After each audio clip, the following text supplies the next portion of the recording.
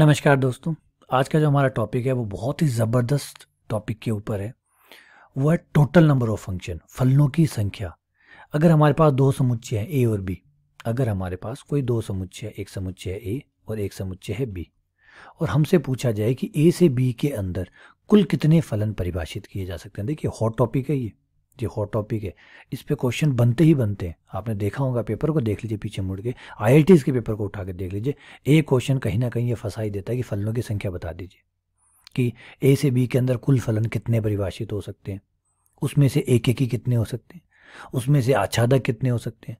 उसमें से एक एक ही और आच्छादक दोनों कितने हो सकते हैं? तो इस टाइप का जो क्वेश्चन है, वो बनता है। तो बड़ा प्यारा क्वेश्चन है, यहाँ पे जगह है बनने के लिए। तो थोड़ा सा ध्यान दीजिएगा, मज़ा भी आएगा आपको कि कैसे फलनों की संख्या को परिभाषित किया जाता है। तो पहला शुरू करते हैं, कुल फलनों की संख्या। दो समुच्चों के बीच में कुल कितने फलन परिभाषित किए जा सकते हैं? तो पहला है, कुल फलनों की संख्या। कुल फलन कितने बन सकते हैं ए से बी के अंदर? मैं समझाऊँगा कि मैं निकाल कैसे रहा हूँ, ये भी ध्यान दीजिएगा। सबसे पहले आपको ये पता करना होगा कि ए में कितने अवयव है। जो आपका ए समुच्चय है, उसमें कितने अवयव है। मान लीजिए उसमें एम अवयव है। ठीक है?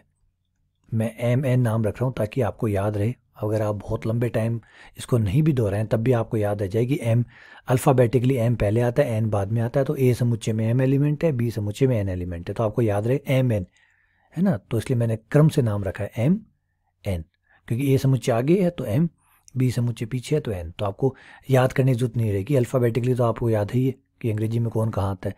तो बस उसको याद रखिए कि ए समुच्चय में एम दूसरे समुच्चय में एन ठीक है? तो कुल फलन कितने बन सकते हैं? तो इसे पहले एक छोटे से एग्ज़ाम्पल से लेते हैं, फिर एक बड़े एग्ज़ाम्पल में इसको कन्वर्ट कर देंगे एम और एन के अंदर। तो मान लीजिए ये आपका ए समुच्चय और ये आपका बी समुच्चय ठीक है? ए में दो अवयव है, एक और दो। ये एक, ये दो। और बी में तीन अवयव है X Y Z X Y Z अब आपको देखना है कि आप कितने फलन इनके बीच में डाल सकते हैं, ठीक है? तो एक चीज़ याद रखिएगा, फलन के अंदर एक शर्त बहुत ज़रूरी है, वो है कि फलन का कोई भी एक बिंदु ए का कोई बिंदु छूटना नहीं चाहिए, कोई भी छूटना नहीं चाहिए, नंबर एक। कोई भी ए का बिंदु छूटना नहीं चाहिए, एक। ए का प्रत्येक बिंदु इकलौते तौर पर बी से जुड़ना चाहिए, इकलौते तौर पर, यानी ए का कोई भी एक बिंदु दो बिंदुओं से नहीं जुड़ सकता, सही है? तो जब हम वन को जुड़ाएँगे वन को हमारे पास तीन ऑप्शन होंगे। वन को हम एक्स से जोड़ सकते हैं, लेकिन किसी एक से। एक्स से जोड़ दे तो ठीक है, फिर वाई से नहीं जोड़ सकते।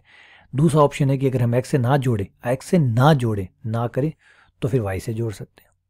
और अगर वाई से ना जोड़ें तो फिर हम उसे जेड से जोड़ सकते हैं। तो हमारे पास जो वन है, उसे कनेक्ट करने के तीन ऑप्शन है। वन को कनेक्ट करने के तीन ऑप्शन है। सही है? जैसे ही वन को कनेक्ट कर देंगे, किसी के साथ भी एक्स वाई जेड के साथ कनेक्ट हो गया, काम खत्म। अब हम आ जाएँगे अगले एलिमेंट के ऊपर। अगला एलिमेंट जो है, वो हमारा टू है। टू के पास कितने ऑप्शन होंगे कनेक्ट होने के? टू के पास भी तीन ऑप्शन होंगे। अब आप कहोगे, सर, तीन कैसे हुए टू के पास? जहाँ वन कनेक्ट हो गया, वहाँ टू कैसे कनेक्ट हो सकता है? तो बेटा, किसने कहा कि दो पे ए कनेक्ट नहीं हो सकता? किसने कहा दो पे ए कनेक्ट नहीं हो सकता? याद कीजिए, एक से दो कनेक्ट नहीं हो सकते। फलन में ये मना है कि एक से दो नहीं हो सकते। ये नहीं हो सकता। लेकिन ये हो सकता है कि मैनी टू वन अलाउड है। बहुत सारों से ए कनेक्ट हो जाए, ये चल जाएगा। लेकिन क्या नहीं चलता? वन टू मैनी नहीं चलता। एक से बहुत सारे नहीं आ सकते। ये अलाउड नहीं है फलन में। फलन में मैनी टू वन अलाउड है। मैनी टू वन अलाउड है, लेकिन वन टू मैनी अलाउड नहीं है। वन टू मैनी अलाउड नहीं है। वन टू में मैनी टू वन अलाउड है। बहुत सारे एक से कनेक्ट होकर चल जाएगा। तो जिससे वन कनेक्ट हुआ है, उससे अगर टू कनेक्ट हो गया तो चल जाएगा। तो आप बिल्कुल भेदभाव मत कीजिए। वन किससे कनेक्ट हुआ है? वन जिससे भी कनेक्ट हुआ होगा टू के पास पूरी फ्रीडम है कि वो चाहे जिससे कनेक्ट हो। तो टू के पास भी तीन ऑप्शन होंगे। वो एक्स से कनेक्ट हो जाए वाई से कनेक्ट हो जाए जेड से कनेक्ट हो जाए। रिपीट कर रहा हूँ यहाँ पे बात। देखिए टू को कोई फ़र्क नहीं पड़ता, वन किससे कनेक्ट हुआ है। जिससे वन कनेक्ट हुआ है, टू उससे कनेक्ट हो सकता है, उसके अलावा किसी और से कनेक्ट हो सकता है। तो वन किससे कनेक्ट हुआ, इसका कोई भी प्रभाव टू पे नहीं पड़ेगा। टू उतना ही स्वतंत्र है जितना वन स्वतंत्र था। ठीक है? तो टू को कितने ऑप्शन मिले? तो टोटल कितने जोड़े बने? तीन इंटू तीन, यानी तीन की पावर दो। ये तीन की पावर दो कैसे आया? इसे समझिए। दो कहाँ से आया? तीन कहाँ से आया? तीन आया बी समुच्चय से। तो जो बी समुच्चय के अवयव हैं, वो बेस में आ रहे हैं। जो ए समुच्चय की संख्या है वो कहाँ आ रही है? घात पे आ रही है। तो अगर यदि यदि यहाँ एलिमेंट्स की संख्या एन होती और यहाँ एम एलिमेंट होते तो क्या होता? ठीक है, तीन की पावर दो है। ये तीन यहाँ से आ रहे और ये जो दो है, ये यहाँ से आ रहे सही है? तो जब एम और एन होंगे तो क्या होगा? एन की पावर एम फलनों की संख्या कितनी बनेगी? एन की पावर एम तो ये लीजिए, ये आपका पहला काम हो गया कुल फलनों की संख्या। कुल फलनों की संख्या बराबर एन की पावर एम ये आपका पहला आंसर हो गया। आया? एक एग्जांपल से इसको और कंफर्म करवा देता हूँ आपको।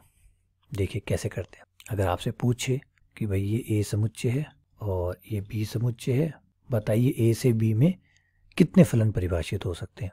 तो कितने फलन हो सकते हैं? एन की पावर एम अब आपको याद रखना एम कौन है? एम कौन है? अल्फ़ाबेटिकली एम पहले आता है एन बाद में आता है। तो ए समुच्चय जो होगा वो एम माना जाएगा। तो एम कितना हुआ आपका? दो हुआ। और एन कितना हुआ? तो ये कितना आ जाएगा? तीन की पावर दो। यानी कितने फलन बनेंगे? कुल इनके बीच में नौ फलन बनेंगे। कुल इनके बीच में नौ फलन तैयार होंगे। ठीक है? चलिए, ये तो हमारा हो गया कुल फलनों की संख्या। अब दूसरा आता है एक एक की फलन। अब एक बात तो याद रखिएगा कि कुल फलन जितने होंगे, उसमें ही एक एक आएँगे। एक एक कोई बाहर तो नहीं आने वाले। जैसे भारत में जितने लोग हैं, कुल लोग हैं, उसी में से तो हिंदू आएँगे, उसी में से तो ईसाई आएँगे, उसी में से तो सिख आएँगे। तो लोग तो उसी में से आएँगे ना तो कुल लोगों में से आएँगे। यानी जितने कुल फलन है, उससे एक एक ही फलन या तो कम होंगे या बराबर होंगे, ठीक है ना? तो एक एक ही फलनों की संख्या एक एक ही फलनों की संख्या एक एक ही फलनों की संख्या। अच्छा एक एक ही फलन क्या होता है, जो एक पे एक जुड़ता है? एक पे एक जुड़ता है उसे एक एक फलन कहते हैं। सही है? सबसे पहले आपका ए समुच्चय, जिसमें एम अवयव है। फिर दूसरा समुच्चय बी, जिसमें एन अवयव है। ठीक है? पहले मैं एक शर्त लगाऊँगा। ठीक है? अब यहाँ हो सकता है कि एम बड़ा हो एन छोटा हो, या एन बड़ा हो एम छोटा हो, या फिर दोनों बराबर हो। हो सकता है ना? तो मैं एक एक केस को आपको समझाता हूँ। सबसे पहला केस देखिए, जहाँ केस बनाने पड़ेंगे, वहाँ पे तो ऐसे चल जाता था, कोई दिक्कत नहीं थी कि एम बड़ा है एन छोटा है एन छोटा है एम बड़ा है, कुल फलनों में कोई दिक्कत नहीं आती, लेकिन एक एक में दिक्कत आती है। क्या दिक्कत आती है, अभी समझाता हूँ। पहला केस लेते हैं, जब एम जो है, वो एन से बड़ा हो मतलब ए के पास ज़्यादा अवयव और बी के पास कम हुए हो, तब क्या होता है? देखिए, क्या भयानक चीज़ होती है, वो समझिए। इसके एग्ज़ाम्पल से समझाता हूँ उसको ए बराबर मान लीजिए, अब ज़्यादा अवयव ला लीजिए आप ए में वन टू और थ्री तीन अवयव आपने ए में ले लिए और बी में सिर्फ़ दो अवयव लिए एक्स एंड वाई अब मैं आपको दिखाता हूँ कि एक एक की फलों की संख्या कितनी बनती है। जब एम आपके पास पहले वाले समुच्चय जो आपका प्रांत है, उसके पास ज़्यादा अवयव है और जो सह प्रांत है, उसके पास कम अवयव है तो फिर एक एक की फलों की संख्या कितनी होती है? ये रहा ये रहा वन टू एंड थ्री ये आपका एक्स ये वाई अब ध्यान से सुनिएगा, एक तो आपको फलन बनाना है, यानी हर एक एलिमेंट को एक एलिमेंट के साथ ही कनेक्ट करना है। ठीक है? एक इकलौते तरीके से जुड़ेगा, हर अवयव यहाँ का ए समुच्चय का हर अवयव, बी समुच्चय के साथ इकलौते तरीके से जुड़ेगा। एक बात, दूसरा, ए का कोई भी अवयव छूटना नहीं चाहिए। ए का कोई भी अवयव छूटना नहीं चाहिए। ठीक है? चलिए कनेक्ट करते हैं। वन को आपने कनेक्ट कर लिया, मान लीजिए एक्स के साथ। हो गया? ठीक है? टू को आप चाहें तो अगर आप एक्स के साथ कनेक्ट कर देंगे तो वो एक एक ही नहीं रहेगा। क्योंकि वन पे भी एक्स आ रहा है, टू पे भी एक्स आ रहा है, अगर दोनों पे सेम आ गया तो फिर वो एक एक ही नहीं रहेगा। एक एक ही रहने के लिए ज़रूरी है कि अगर वन एक्स से कनेक्ट हुआ तो टू किसी और से कनेक्ट हो। तो चलिए टू ने वाई से कनेक्ट हो गया। टू वाई से कनेक्ट हो गया अलग अलग है। लेकिन जैसे थ्री की बारी आएगी, अब थ्री बेचारा क्या करेगा? कोई तीसरा अवयव खाली है ही नहीं। थ्री को या तो एक्स से कनेक्ट होना पड़ेगा या वाई से। अब दिमाग ये आता है कि थ्री को छोड़ दें तो। लेकिन थ्री को छोड़ कैसे सकते हैं? क्योंकि फलन नहीं बनेगा। फलन कहता है कि प्रांत का हर बिंदु कनेक्ट होना चाहिए। प्रांत का कोई भी बिंदु खाली नहीं रहना चाहिए, खाली रख नहीं सकते। और खाली नहीं रखेंगे तो मजबूर होकर या तो एक्स से कनेक्ट करेंगे या वाई से। अगर एक्स या वाई में से किसी से भी कनेक्ट किया तो फलन एक एक ही नहीं रह पाएगा। एक्स से कनेक्ट करेंगे तो वन पे भी एक्स आ गया और थ्री पे भी एक्स आ गया तो एक एक ही कैसे रहा? और अगर वाई से कनेक्ट कर दिया एक्स से ना किया वाई से कनेक्ट कर दिया तो टू पे वाई आ गया थ्री पे वाई आ गया। तो इसका मतलब है कि जब एम एन से बड़ा होता है, आपके प्रांत के पास ज़्यादा अवयव होते हैं, सह प्रांत से, तब कोई एक एक फलन नहीं बनता। एक की फलनों की संख्या होगी शून्य। एक ही फलनों की संख्या कितनी होगी? ज़ीरो। आप कोई एक एक फलन नहीं बना सकते अगर प्रांत के पास ज़्यादा अवयव है, किससे? सह प्रांत से। अगर बराबर है या कम है, उसकी स्थिति अभी पढ़ेंगे। लेकिन अगर बड़ा है, अगर प्रांत के पास ज़्यादा अवयव है, किससे? सह प्रांत के मुकाबले। तो फिर कोई भी एक एक फलन नहीं बन सकता। समझा दिया कि क्यों नहीं बन सकता? क्योंकि एक एक बे के कनेक्ट हो जाएगा। बी के पास कम एलिमेंट है तो फाइनली प्रांत के एक एलिमेंट कम से कम एक एलिमेंट ऐसा बचेगा जिसको डबल रिपीट होना पड़ेगा डबल कनेक्ट होना पड़ेगा। डबल कनेक्ट होना पड़ेगा। इसे आप ऐसे भी समझ सकते हैं कि मान लीजिए आपके पास तीन कबूतर हैं। कबूतरों का नाम आपने रख लिया ए बी सी और वो आपके पास तीन, दो हॉल है।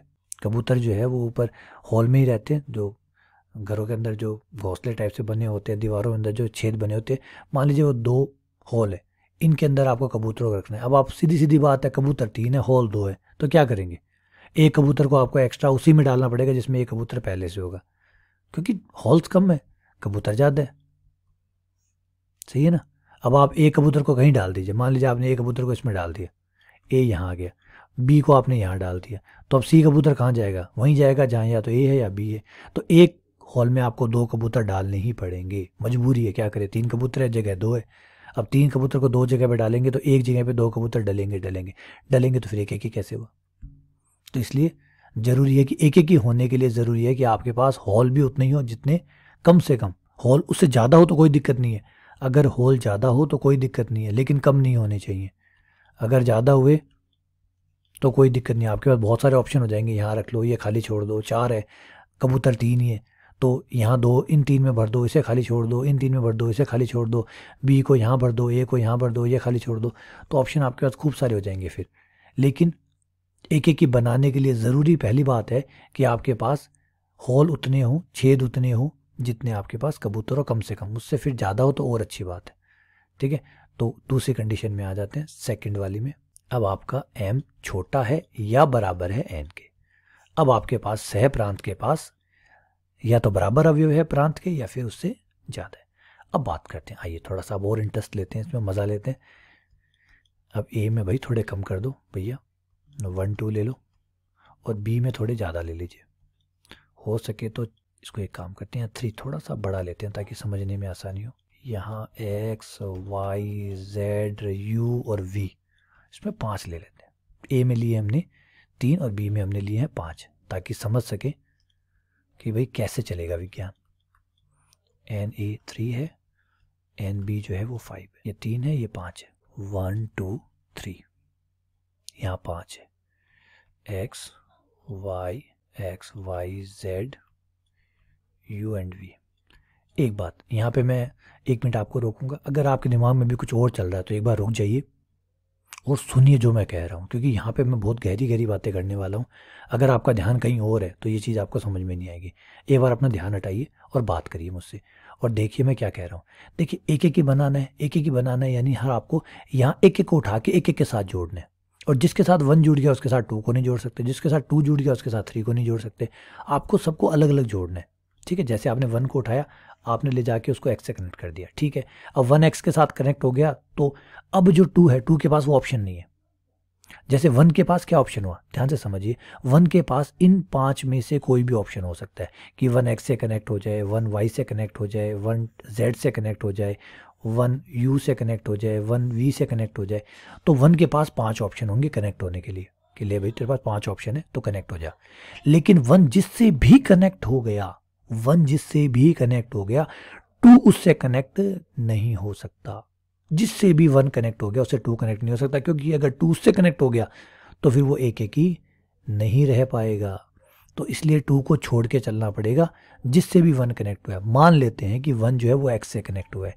तो अब टू एक्स से कनेक्ट नहीं हो सकता तो टू के पास ऑप्शन कम हो गए कि टू वाई से जेड से यू से और वी से। इन चार से ही कनेक्ट हो सकता है। तो अब आपके पास टू के पास ऑप्शन एक कम हो गया। कौन सा? जिससे ए कनेक्ट हुआ है। ऐसे ही जब थ्री की बारी आएगी तो थ्री के पास एक ऑप्शन और कम हो चुका होगा। जिससे टू कनेक्ट हो चुका वन और टू जिससे कनेक्ट हो चुके थ्री उससे अब कनेक्ट नहीं हो सकता। तो थ्री के पास ऑप्शन क्या होगा?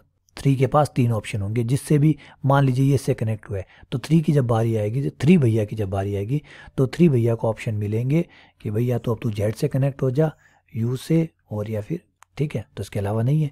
तो पाँच, चार, तीन, ये हुए एक एक की फलों की संख्या। अब लेकिन ये जो तरीका है, ये हमें कम समझ में आता है। थोड़ा सा इसको मैं और अच्छा करता हूँ, ताकि आपको और अच्छा समझ में आए। ठीक है, एक, क्योंकि हमें आगे बनाना भी एम और एन बनाना है हमें। हमें ये पता करना है कि यहाँ एम हो और यहाँ एन हो हमें दो तीन से काम थोड़ी चलाना है। हमें बेटा दो तीन से काम थोड़ी चलाना है। वो तो सवाल दो तीन तो हज़ारों बन जाएँगे ऐसे। कभी यहाँ पाँच डाल देगा, यहाँ साठ डाल देगा, यहाँ ग्यारह डाल देगा, यहाँ पैंतीस डाल देगा। तब हम क्या करेंगे? तो हमें तो एक एम और एन के लिए फॉर्मूला चाहिए। तो यहाँ जब दो एलिमेंट थे, यहाँ जब पाँच एलिमेंट थे, यहाँ, सॉरी, यहाँ तीन थे, यहाँ जब पाँच थे तो ये आ रहा है। ये आ रहा है तो समझिए कि अगर मैं ऊपर और नीचे टू और वन से गुणा, ऊपर टू वन से गुणा कर दिया और नीचे टू वन का भाग दे दिया, बराबर रहेगा।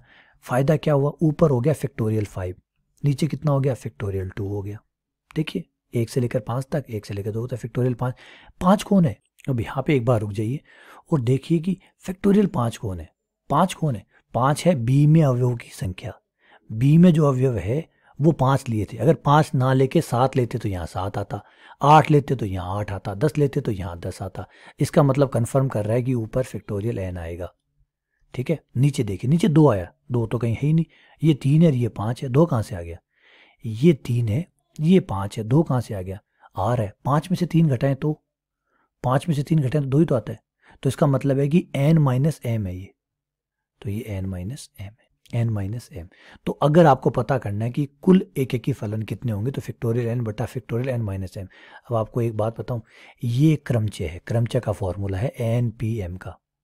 अगर आप एन पी एम का फॉर्मूला लगाएँ तो वो यही आएगा फिक्टोरियल एन बटा फिक्टोरियल एन माइनस एम ये लीजिए। बन गया। तो आपके पास एक एक की फलनों की संख्या कितनी होती है? एक एक की फलनों की संख्या कितनी होती है, आप क्रमचय से निकाल सकते हैं एन पी एम से। एन पी एम यानी factorial N upon factorial N minus M आप ऐसा करके एक एक की फलनों की संख्या पता कर सकते हैं कि एक एक की फलन कितने होंगे। आई बात समझ में? चलिए एक दूसरे तरीके से और समझाता हूँ आपको। और भी अच्छा आपको समझ में आएगा कि इसके एक एग्ज़ाम्पल से और समझते हैं कि मान लीजिए आपके पास एक समुच्चय है, जिसके में टेनिस खेलने वाले लड़के हैं। मैंस है एक्स और वाई, दो व्यक्ति है जो टेनिस खेलते हैं। एक बी समुच्चय है जिसके अंदर लेडीज़ है जो टेनिस खेलती है। उनका नाम आपने रख दिया ए, बी, सी। सही है? अब आपको टीम बनानी है, युगल टीम बनानी है। युगल टीम में क्या होता है? एक जेंट्स होता है, एक लेडीज़ होती है और उनका एक टीम बनती है। अब आपको टीम बनानी है। कितनी टीमें यहाँ बन सकती है? कितनी टीमें यहाँ पर बन सकती है? तो मैं अभी मेंस पे नहीं जा रहा कि हमें पता है कि दो मेंस है, दो आदमी हैं और दो और तीन औरतें हैं। तो एक आदमी को हम कोई भी एक औरत के साथ टीम बनाएँगे। किसी भी एक का। जो एक्स है, उसका किसी एक के साथ टीम बनेगा। चाहे वो ए के साथ बने बी के साथ बी सी के साथ बने। जिसका भी एक्स के साथ टीम बन गई, फिर वाई की उसके साथ टीम नहीं बनेगी। है ना? जो एक्स के साथ टीम बना लेगा, फिर वो वाई किसी और के साथ टीम बनानी पड़ेगी। तो इस तरीके से टोटल टीम कितनी बनेगी? तो देखिए, हम एक बार एक्स वाई को भूल जाते हैं। हम यहाँ से दो दो जनों की टीम बना के देखते हैं। दो दो जने लेते हैं, फिर वो दो दो जने जो है वो एक्स वाई के साथ जोड़ देंगे। जैसे हम क्या क्या चुनाव कर सकते हैं? हम चुनाव कर सकते हैं ए और बी का। ठीक है? ए और बी का बी और ए का। क्या ए और बी बी और एक एक है? ये दो है। क्यों है? क्योंकि एक्स है, ये वाई है। हमने पहला ऑप्शन जो डाला वो ये है कि एक्स के साथ ए को रख दिया और वाई के साथ बी को रख दिया। फिर एक्स के साथ बी रख दिया वाई के साथ ए रख दिया। तो दोनों अलग अलग हुए नहीं हुए? अलग अलग हुए ना? क्योंकि एक्स के साथ ए होना और वाई के साथ बी होना, और एक्स के साथ बी होना और वाई के साथ ए होना एक बात नहीं है तो ये दो बातें हुई। ये दो होगी फिर तीसरा ऑप्शन क्या हुआ कि हम बी और सी को ले लें। बी सी इसको सी दे दें, इसको बी दे दें। ये तीन और चार ऑप्शन हो गए। फिर अगला ऑप्शन क्या हुआ? अगला ऑप्शन हुआ कि हम इसे ए दे दें, इसे सी दे दें। फिर इसे सी दे दें, इसे ए दे दें।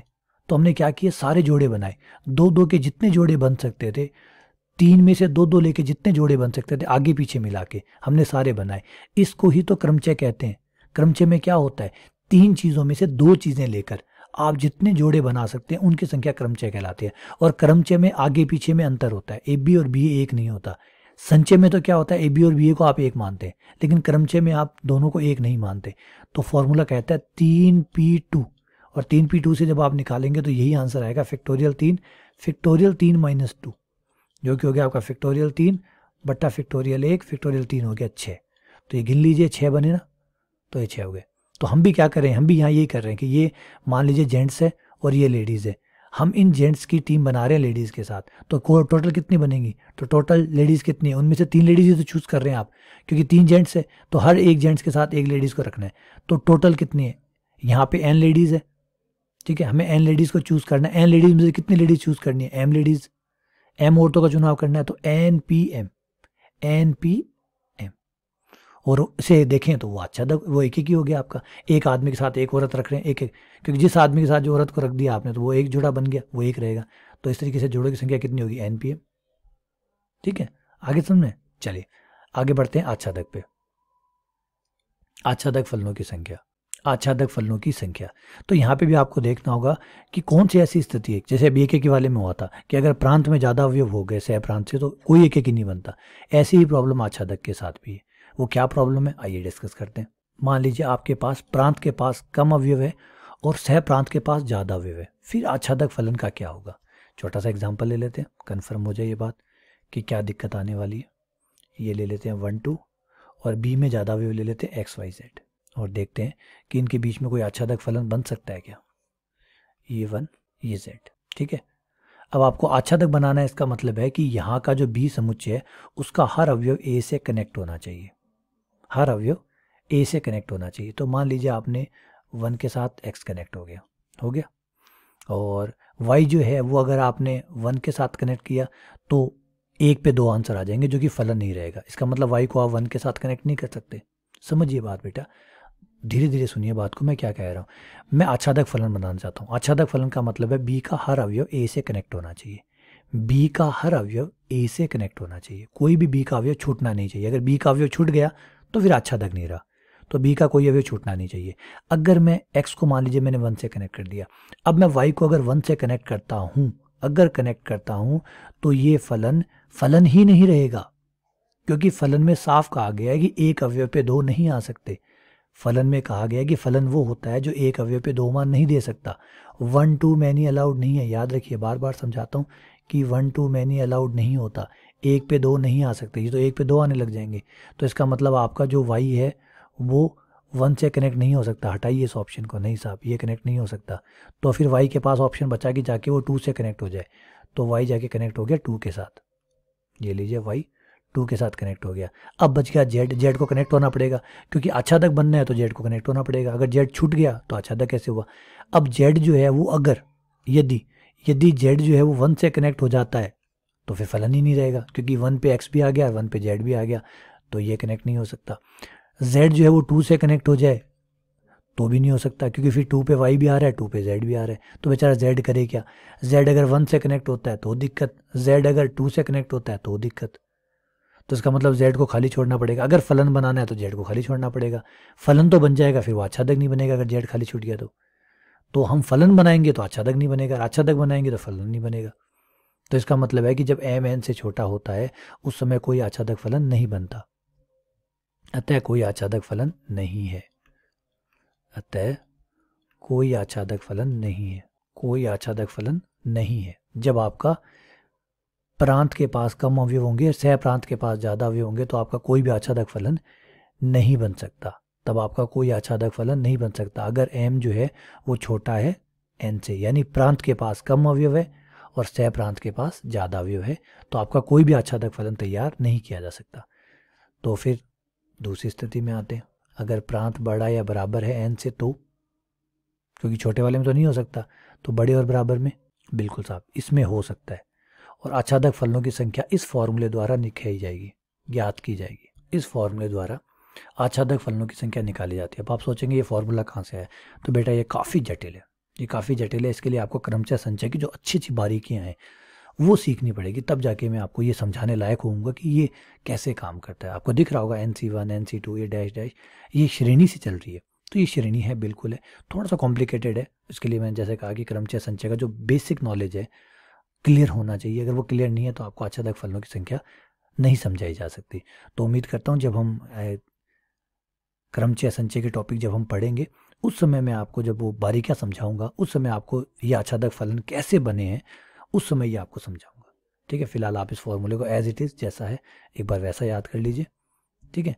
एन की power M minus N C one N minus one की power M N C two N N minus two की power M dash dash dash चलता रहता है। ठीक है? तो एक एग्ज़ाम्पल ले लेते हैं। कि फॉर्मूले से कितना कैसे निकलेगा? एन आपको छोटा लेना है एम बड़ा लेना है, क्योंकि अगर आपने एम छोटा लिया तो फिर अच्छा था फलों की संख्या होती ही नहीं है, याद है ना? तो एम थोड़ा बड़ा लीजिएगा सपोज़ कीजिए एम थ्री ले लिया एन आपने टू ले लिया। तो आइए निकालते हैं। एन का मान टू टू की power three minus two C one two minus one N का मान टू एम का मान थ्री प्लस एन का मान two two C two N का मान टू माइनस टू, ये यहाँ पे ख़त्म हो गया। इसके बाद वाले पद जो है वो ज़ीरो हो जाएँगे। इसके बाद कोई पद नहीं आएगा। बस ये यहाँ तक ही आएँगे। टू माइनस टू हो गया ना, इसके बाद में वहीं रुक जाना है। देखिए, आपको एन जो है ना N C two N C two है तो ये एन सी टू जो है वो आगे, यहाँ एन जो है, जो भी एन का मान आएगा, वो नीचे वाले से बड़ा नहीं होता। इस द्विपद गुणांक के अंदर हमेशा ऊपर वाला नीचे वाले से या तो बड़ा होता है या बराबर हो सकता है। लेकिन छोटा नहीं हो सकता। तो आप एन कहाँ तक जाएगा? इस पद तक जाएगा, इस पद के बाद में कोई पद नहीं आएगा, क्योंकि उसके बाद में ये नंबर बढ़ेगा, ये तीन आ जाएगा, ये टू ही रहेगा। टू, सी, थ्री कुछ नहीं होता। तो इसलिए ज़रूरी है कि यहीं पे आप रुक जाएँगे। तो यहाँ पे आप रुक जाएँगे, इसके आगे नहीं जाएगा। ठीक है? और ये ऑलरेडी ज़ीरो हो चुका है। टू माइनस टू ज़ीरो, ये ख़त्म। ये आपका हुआ दो की पावर तीन, जो कि आठ हो गया। टू सी वन में टू आ गया। ये टू माइनस वन वन हो गया। वन की पावर थ्री, वन हो गया। ये आठ माइनस दो, छः आ गया। ये आपके आच्छादक फलनों की संख्या होगी। इसमें छः आच्छादक फलन आपके तैयार होंगे। ठीक है? अब इससे प्यारा क्वेश्चन जो इसमें और ज़बरदस्त बनेगा कि एक एक की आच्छादक दोनों फलनों की संख्या कितनी होने वाली है? एक एक की एम आच्छादक, जो एक एक की भी हो और आच्छादक भी हो। एक एक की व आच्छादक फलनों की संख्या। ये भाई बहुत प्यारी चीज़ है, देखिए। पहले आप याद रखिए, एक चीज़ आपने ऊपर ही पढ़ी थी कि अगर यदि यदि इस पे थोड़ा सा आपको एक्स्ट्रा ध्यान देना होगा कि एक एक आच्छादक फलनों की संख्या। पहली बात तो देखिए, ऊपर आ जाइए। ऊपर अभी हमने कहा था कि अगर एम एन से छोटा हुआ तो कोई एक एक फलन नहीं बनेगा। तो फिर एक एक ही नहीं बनेगा तो एक एक आच्छादक दोनों चाहिए हमें तो। हमें तो एक एक की भी चाहिए, आच्छादक भी चाहिए। अगर एम एन से बड़ा हुआ तो एक एक ही नहीं बनता। और अगर नहीं चाहिए अगर एन एम से बड़ा हुआ तो आच्छादक नहीं बनता। इसका मतलब अगर एम और एन में से कोई भी बड़ा या कोई भी छोटा है तो अगर एम बड़ा हुआ तो एक एक ही नहीं बनेगा। एन बड़ा हुआ तो आच्छादक नहीं बनेगा। पकड़ रहे हैं बात को आप? अगर एम बड़ा हुआ तो एक एक ही नहीं बनता। एन बड़ा होता है तो आच्छादक नहीं बनता। तो इसका मतलब एक एक आच्छादक दोनों बनने के लिए एम एन से बड़ा नहीं होना चाहिए एन एम से बड़ा नहीं होना चाहिए। इसका मतलब एम बराबर एन होना चाहिए। क्योंकि एम और एन में तीन ही तो रिलेशन हो सकते हैं। तीन ही तो चीज़ अगर बेटा एम एन से बड़ा हुआ तो एक एक ही नहीं बनेगा। एक एक ही नहीं है। तो आप तो दोनों चाहिए आपको। इस बार सिर्फ़ ये नहीं खाली अच्छा तक चाहिए। इस बार आपको एक एक की भी चाहिए, साथ ही साथ अच्छा तक भी चाहिए। तो अगर एम एन से बड़ा हुआ तो एक एक ही नहीं बनेगा। और अगर एम एन से छोटा हुआ तो अच्छा तक नहीं बनेगा। जबकि हमें तो एक एक ही अच्छा तक दोनों चाहिए। तो फाइनली अगर हमें सही में एक एक अच्छा तक दोनों चाहिए तो हमें एम बराबर एन लेना होगा। यानी प्रांत और सह प्रांत में अवयवों की संख्या बराबर होनी चाहिए। प्रांत में भी उतने ही अवयव हो जितने सह प्रांत में हो। एन ए बराबर होना चाहिए, एन बी। तब जाकर हमारे पास एक एक की और आच्छादक फलन तैयार हो पाएगा, वरना एक एक आच्छादक फलन नहीं बनेगा। तो सीधा सीधा क्लियर कंसेप्ट है कि अगर ए और बी में अलग अलग अवयव है काउंटिंग में अगर अलग अलग अवयव है तो फिर एक एक आच्छादक फलन बन ही नहीं सकता। और बनेगा कब? जब एन बराबर एम होगा तो। ठीक है? कितने बनेंगे? चले, उनकी बात कर लेते हैं। पहले बात तो ये कन्फर्म होगी कि दोनों में बराबर होने चाहिए। दोनों में बराबर होने चाहिए कन्फर्म होगी। चलिए ए में तीन एलिमेंट ले लेते हैं। तो बी में भी तीन ही लेने पड़ेंगे, क्योंकि अगर ए में तीन लिए और बी में तीन ना लिए तो अभी मैं बता चुका कि एक एक ही बन जाएगा तो अच्छा दिख नहीं बनेगा। और अच्छा दक बन गया तो एक ही नहीं बनेगा। इसलिए बराबर लेना होगा आपको। बराबर ले लिया। एक, दो, तीन एक्स वाई जेड ये रहा आपका। एक, दो तीन ये रहा आपका एक्स वाई जेड याद रहे एक एक ही बनाना ना अच्छा तक भी बनाना है। इधर से भी कोई नहीं छूटना चाहिए, इधर से भी कोई नहीं छूटना चाहिए। इधर से भी हर कोई एक एक से जुड़ना चाहिए। तो वन के पास तीन ऑप्शन है। एक्स के पास जाए वाई के पास जाए या जेड के पास जाए। तो वन के पास कितने ऑप्शन हुए? तीन ऑप्शन हुए। तो वन के पास भाई थ्री ऑप्शन ठीक है? टू के पास, टू के पास अब थ्री ऑप्शन नहीं होंगे क्योंकि आप एक एक ही बना रहे हैं। एक एक ही बना रहे हैं तो जिससे भी वन कनेक्ट हो गया चाहे वो एक्स हो, चाहे वो वाई हो, चाहे वो जेड हो, टू को किसी और से कनेक्ट होना पड़ेगा। तो टू के पास ऑप्शन की संख्या एक कम हो जाएगी। फिर जब थ्री की बात आएगी तो थ्री के पास एक ऑप्शन और कम हो जाएगा। ये हुआ फैक्टोरियल थ्री एक, तीन इंटू दो इंटू एक, जो कि हो गया आपका factorial three factorial three three क्यों आया? क्योंकि ए और बी में कितने अवयव थे? तीन अवयव थे। ना ए में ज़्यादा है, ना बी में ज़्यादा है, हो भी नहीं सकते। क्योंकि अगर ज़्यादा, कम ज़्यादा हुए तो एक एक ही और अच्छा तक दोनों नहीं बनेंगे। दोनों बनने के लिए ज़रूरी दोनों में बराबर हो। तो ये तीन आ गया। अब सपोज़ कीजिए अगर दोनों में एन एलिमेंट होते, बराबर बराबर एलिमेंट होते, वो एन होते तो टोटल कितने बनते? फैक्टोरियल एन बनते। तो एक एक की एम आच्छादक जो एक एक की भी हो साथ साथ आच्छादक भी ऐसे फलों की संख्या कितनी हुई? एक एक की एम आच्छादक फलों की संख्या, बराबर कितनी फिक्टोरियल एन हुई। और एक बात याद रखिएगा ए में अवयव और बी में अवयव बराबर होने चाहिए। कम ज़्यादा अवयव हुए तो फिर ये नहीं हो पाएगा। ठीक है ना? तो उम्मीद करता हूँ कि ये आइडिया आपको अच्छे से समझ में आ गया होगा। और एक बार मैं आपको रिकॉल करा देता हूँ रिवीजन करा देता हूँ इसका कि हमने क्या क्या पढ़ा। थोड़ा सा रिवाइज करा देता हूँ सारा, हमने क्या पढ़ा। सबसे हमने पहले पढ़ा कुल फलनों की संख्या, कि ए से बी के अंदर कुल फलन कितने बन सकते हैं। कि कुल फलनों की संख्या कितनी होती है? तो जवाब आया था एन की पावर एम और ये एम और एन कौन है? अल्फ़ाबेटिकली अंग्रेज़ी वर्णमाला में एम पहले आता है एन बाद में आता है। तो पहला समुच्चय में एम अवयव है, दूसरे समुच्चय में एन अवयव है। दूसरा था, एक एक की फलनों की संख्या। एक एक की फलनों की संख्या। इसमें हमने पहले ही कह, दो ऑप्शन बनाए थे। एक बनाया था कि एम बड़ा है एन से। एम बड़ा है एन से तो ज़ीरो एक एक की फलन बनेंगे। कोई फलन नहीं बनेगा। अगर एम एन से छोटा हुआ या बराबर हुआ तो फलनों की संख्या बनेगी एन पी एम फिर हमने कहा आच्छादक फलनों की संख्या। आच्छादक फलन जो है, वो अगर एम एन से छोटा है तो ज़ीरो आच्छादक।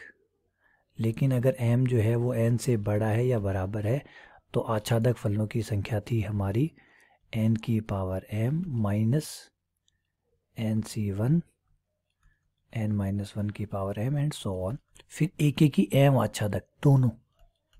एक एक की तथा आच्छादक, दोनों।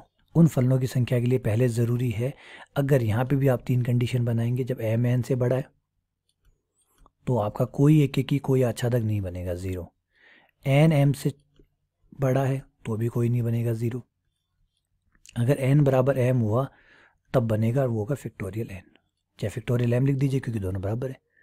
ये लीजिए, ये सार है सारा। तो उम्मीद करता हूँ कि सारी चीज़ें अच्छे से समझ में आ गई। एक नोटबुक डाली अच्छे से। उसमें ये इंपॉर्टेंट रिज़ल्ट है, इनको नोट डाउन कर लीजिए।